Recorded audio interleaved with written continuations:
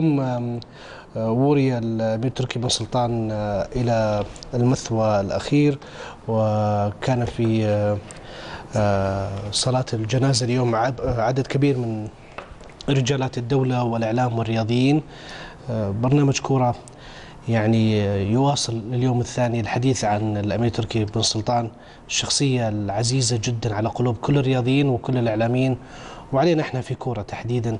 كان شخصية عزيزة علينا جدا وجدنا من هذا الرجل كل محبة وكل دعم. شوف التقرير عن صلاة الجنازة.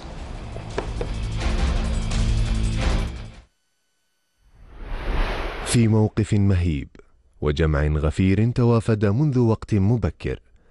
أدى صاحب السمو الملكي الأمير سلمان بن عبد العزيز ولي العهد السعودي صلاة الجنازة على صاحب السمو الملكي الأمير تركي بن سلطان نائب وزير الثقافة والإعلام والمشرف العام على القناة الرياضية. حشود كبيرة. أصحاب سمو ووزراء مسؤولون وإعلاميون ورياضيون. مواطنون حضروا من كل مكان ليلقوا نظرة الوداع على فقيد الإعلام والرياضة.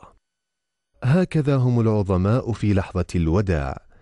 الجميع أبى إلا أن يشارك في التشييع.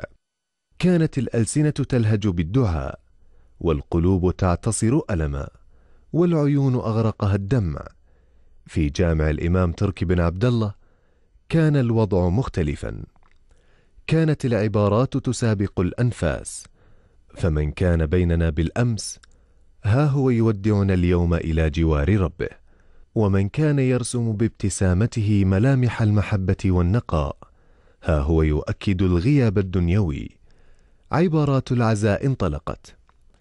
وعلى صوت الدعاء للفقيد بالرحمة فوداعا تركي بن سلطان وداعا صاحب القلب الكبير وعزاؤنا الوحيد في فقدك هو تلك الجموع التي حضرت لتؤكد محبتها لك.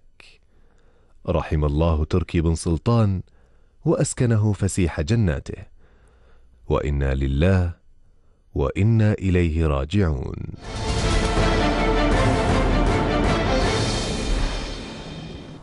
عبد الله. اولا نقول الح...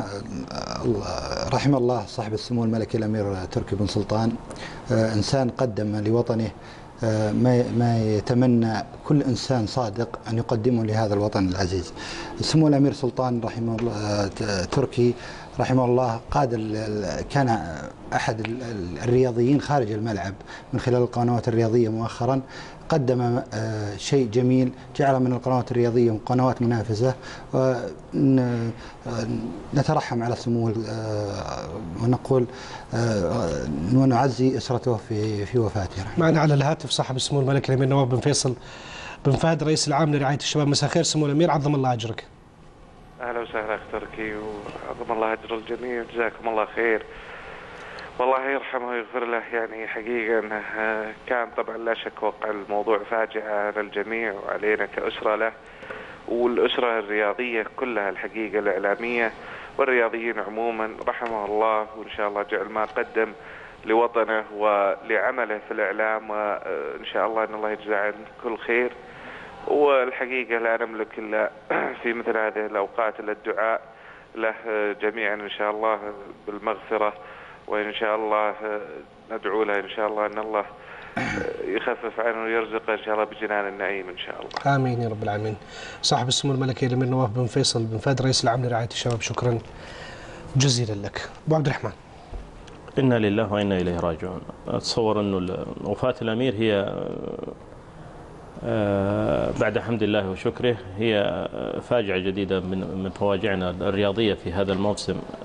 فقدنا أكثر من شخصية رياضية لكن بالتأكيد أن شخصية الأمير هي إحدى الشخصيات الرياضية التي لا يمكن تجاوز حقيقة تجاوزها بأي حال من الأحوال. الرجل قدم عمل في قناة حكومية يشار له بالبنان قدم لنا القناة الرياضية بشكل مختلف عما كانت عليه سابقا. عراب القناة الرياضية إنجاز التعبير. هو رجل حقيقة يعني مررت على كثير من الصحف اليوم وأقرأ عن مآثر الرجل وعن مواقف الرجل. وجدت حقيقة شخصية ربما أنا لا أعلمها وكثير من الناس لكن في النهاية هذا قضاء الله وقدره فنحمده على ما قدر. ونسأل الله سبحانه وتعالى أن يغفر له وأن يكون آه، الدعاء ثم الدعاء ثم الدعاء من الناس لهذا الرجل وأن يغفر لأموات المسلمين جميعا.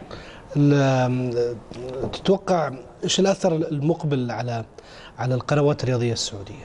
شوف آه، القناة الرياضية بدون شك أنها هناك إطار واضح للقناة وخطط مدروسة ومعمول فيها في الفترة الحالية. أنا لا أتصور أن الرجل غادر موقعه دون أن يطمئن على هذه القناة سواء من حيث توظيف الرجال والمسؤولين في, في, في السير بها قدما الأمام أن تضع خطط مستقبلية واضحة المعالم ثم بعد ذلك تبدأ في التنفيذ. أنا أعتقد أنه لن تفقد القناة بريقها.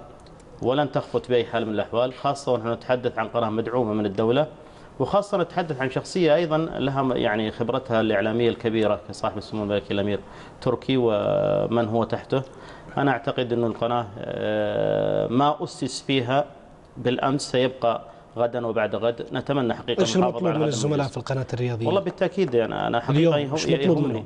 يهمني حقيقة محافظة على هذا الإرث الذي تركه الأمير تطويره بالتأكيد العمل أيضا بنفس المنظومة وبنفس الفكر المواصلة مع الجميع والتواصل مع الجميع. أنا أعتقد إن القناة قادرة على ذلك في ظل ال- ال- القيادات الموجودة حاليا.